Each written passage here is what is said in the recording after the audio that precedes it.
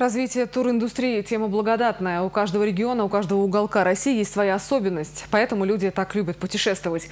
Какой видится Чувашия на туристической карте страны, рассказали участники форума.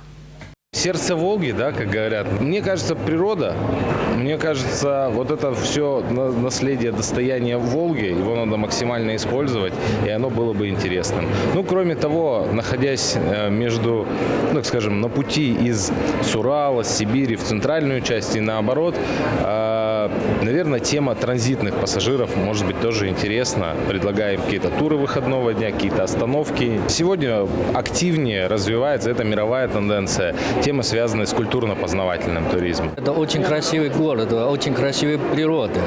Э, мы несколько раз ездили и очень понравились. И кроме природы, здесь очень добрые, хорошие народы. Э, и здесь тоже вкус, вкусная кухня.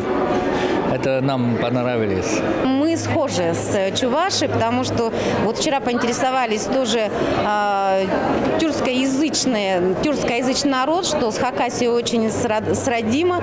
И второй момент, очень важно, что у вас точно так же обращают внимание на э, второй язык, он у вас государственный, национальный, у нас это тоже присутствует. И это идентичность, идентичность э, территории, точно так же, как и в Хакасии, поэтому есть очень много общего, но, конечно, есть различия по природной, по климатической составляющей. И я так думаю, что общие аспекты помогут нам взаимодействовать в дальнейшем.